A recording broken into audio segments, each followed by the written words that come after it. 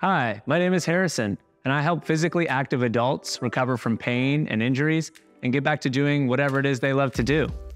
People often ask me what the difference is between me and a physical therapist or a personal trainer, and really, the best way to describe what I do is a fusion of the two.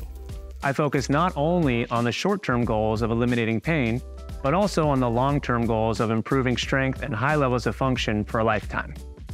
A typical session with me is 55 minutes in length, and within that time, I'll perform a full assessment of movement, joint range of motion, and muscle strength testing. Then, often I'll use massage and other manual therapies to reduce pain and improve mobility. Finally, and most importantly, I'll teach you low risk, high reward exercises that will help you get stronger and keep the pain away for good. My background as a certified athletic trainer prepared me with the knowledge and skills to handle a plethora of acute and chronic injuries. The role of an athletic trainer is to facilitate your full recovery, starting with immediate care and progressing to rehab exercises and ultimately high level strength and conditioning exercises.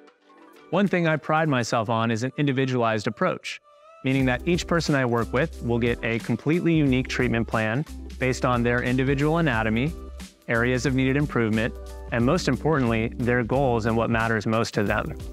Something I prioritize is teaching people how to get the most out of their body. I won't just throw heavy weights into someone's hand on day one.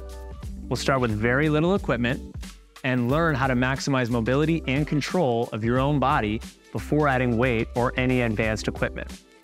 Most of my clients find me after trying many other conventional treatments like doctors, chiropractors, physical therapists, acupuncturists, the list goes on, and unfortunately, they haven't found the long term results they're looking for.